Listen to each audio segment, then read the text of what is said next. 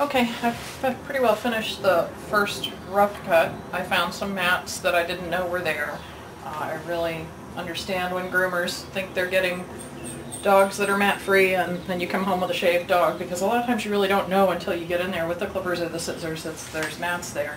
He had a pretty good sized one back here and I had to clip the hair a little bit shorter there but within a few weeks you're not going to know the difference. I used to worry about that but anymore I just figure it'll all even out eventually.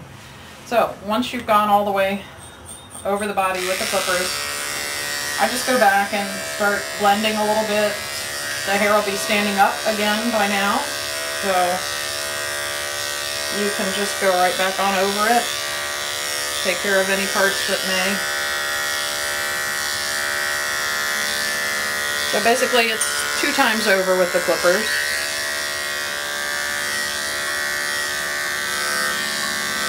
The first time just the big rough cut, the second time you're going to be a little more careful, blend a little more, make sure you're getting everything fairly even.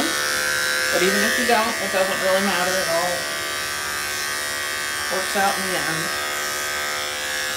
I like to keep his belly shorter than the rest of it in the summer because it keeps him cooler, so a lot of times I'll just go against the grain like this on his belly hairs and go ahead and take those off.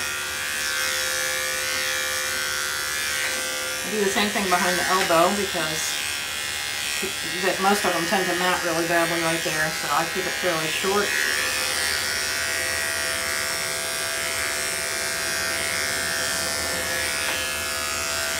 So those are the two times you'll see me go against the grain. His feet are still wet, so I've only done down to his, like his knee on his legs. A lot of times I'll finish up the bottom of the legs with the scissors anyway.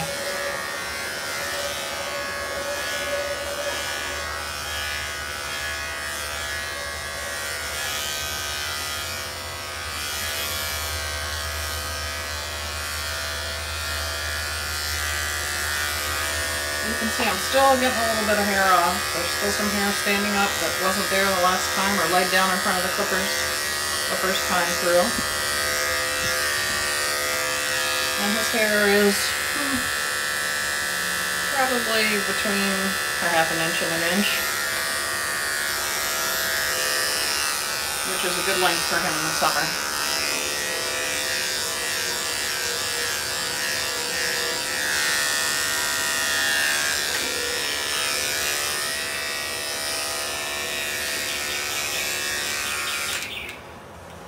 Okay.